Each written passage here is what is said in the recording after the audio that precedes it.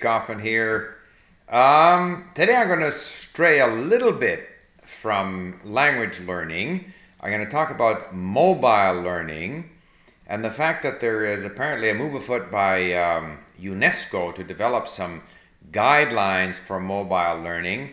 And the reason I know that is because I'm on this listserv of English teachers, which is a um, community of English teachers who send out emails on topics. And the topic that they're talking about now is this uh, UNESCO, UNESCO guideline for mobile learning.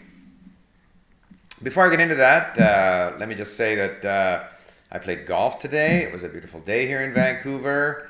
Uh, three evenings ago, we had guests over, so my wife made gravad lax, which is this uh, Scandinavian salmon, in which, uh, and she always makes mm, far more than we ever need.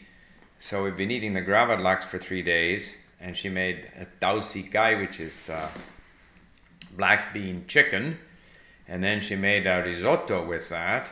And so for the last three days, we've been eating this um, gravad lax, the uh, dausi kai risotto, and she also made a tat tatin, which is a French upside down uh, apple pie. So we've been eating, that for three days.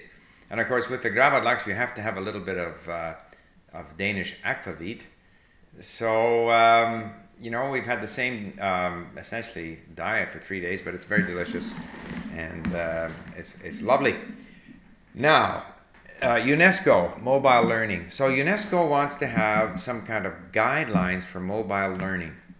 You know, when I saw that, I said to myself, like, if there's one place where we don't need UNESCO, it's in mobile learning everything useful that's going to happen in mobile learning is going to come from individuals teachers, entrepreneurs, learners, people who are going to be developing the technological aspects of it, the pedagogical aspects of it, the social interaction aspects of it. LingQ is one example of mobile learning.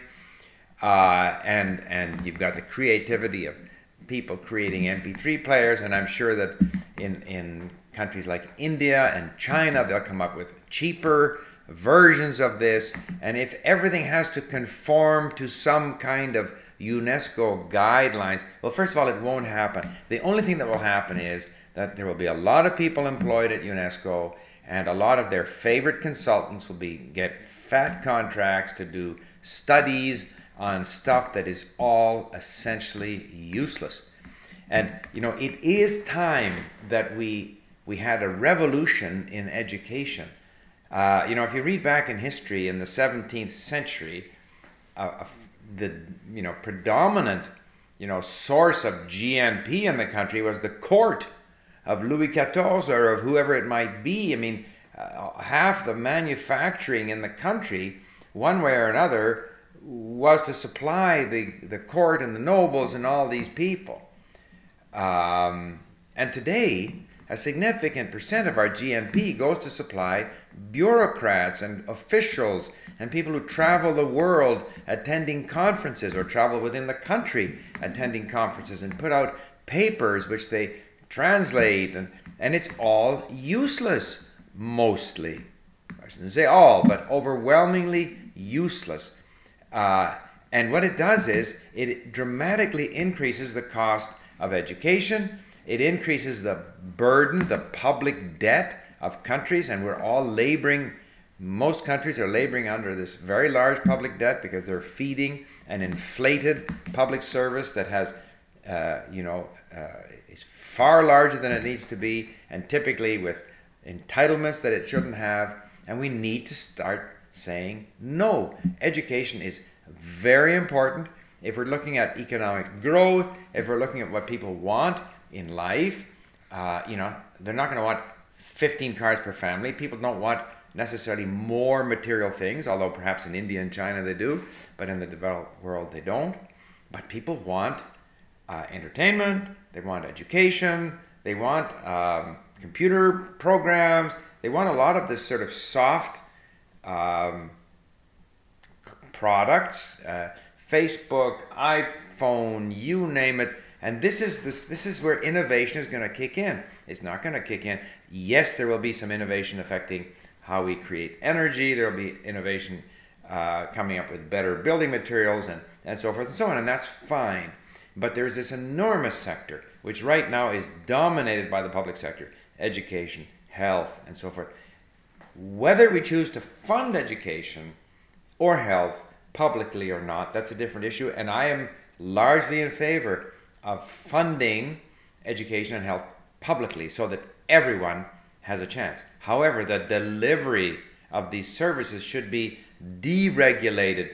You know, uh, it's like when I try to interest someone in the uh, language uh, teaching industry in in you know the internet as a model for language learning. Well, you know who, what are the credentials of your teachers? Uh, what system do you, what pedagogical system do you use? It doesn't matter. People will learn. People will learn when it comes to languages. Of course, if you're training engineers and you're building bridges and houses and you have to meet certain standards and stuff, that's one thing. But if you're talking about enriching people's lives through education, let let people be free to educate themselves through reading, through whatever initiatives, whether it be uh, you know the Khan Academy uh, in the United States or everything. This this is it's got to be a, a, a, a wide open field for individuals, entrepreneurs, learners, teachers to to develop without having to conform to some kind of a UNESCO imposed guideline. Wow, when I saw that, I said, boy, there's a completely useless boondoggle. Anyway, I just thought I would uh, let off some steam. Thank you for listening. Bye for now.